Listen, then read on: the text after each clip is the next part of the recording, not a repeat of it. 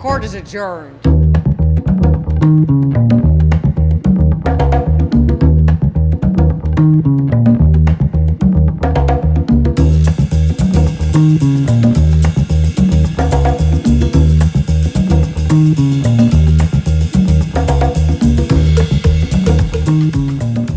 morning, Kyle.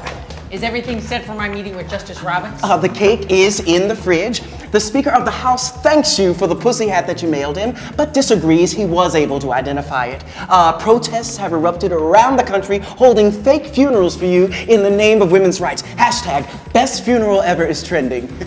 You may just be a politician one of these days.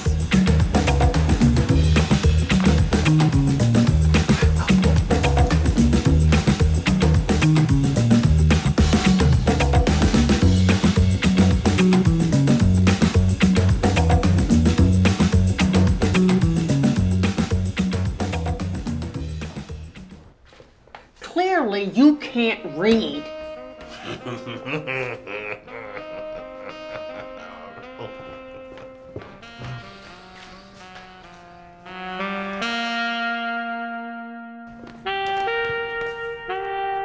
Mr. President, you forgot your pants again. And you forgot to return my calls. I've been very busy.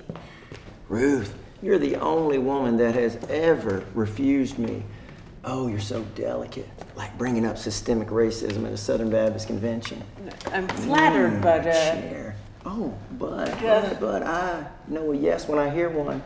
And you can't prove I said that. if Hillary sees you here, she'll break my neck with her bare hands. Well, you know, just because she knows how to break a neck doesn't mean she will. I heard there was a cake with my name on it. You think about what I said. Hey, Johnny boy. Mm. Like a little special White House edition of To Catch a Predator. I can feel his erection. Hap- Happy birthday! It's not my birthday. You said it was your birthday. Can I tell you a secret? It's not. Have you read my opinion? You are announcing this decision in a few days. It is going to affect so many lives. Read it by tomorrow night.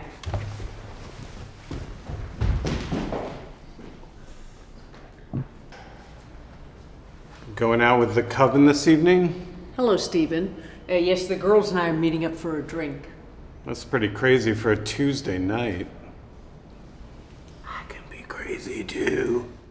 I'm Stephen Breyer, Associate Justice of the Supreme Court. I'm so crazy, the media doesn't have the guts to cover me.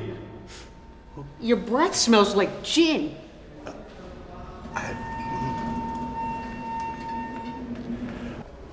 I'm king of the world.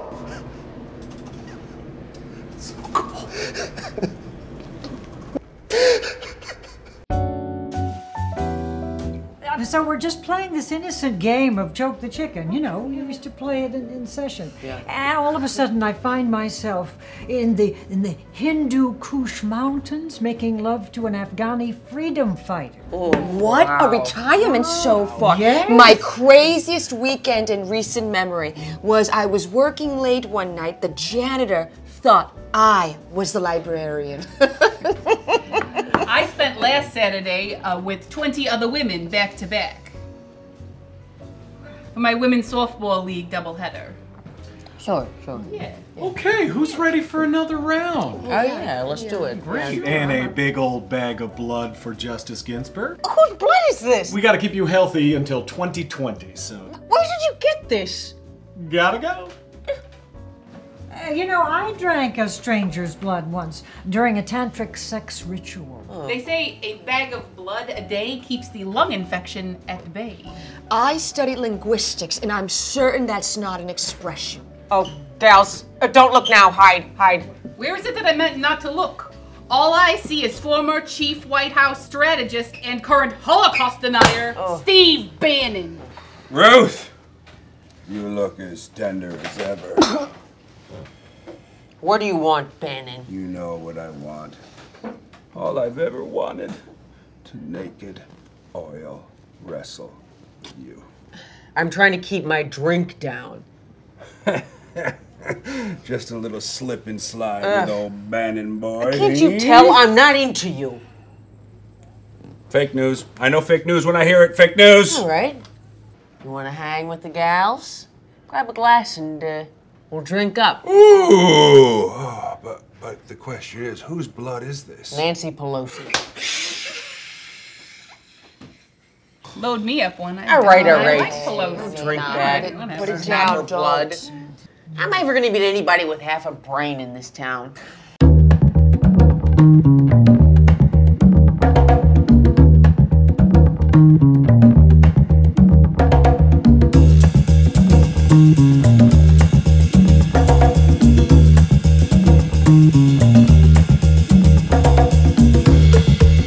Thank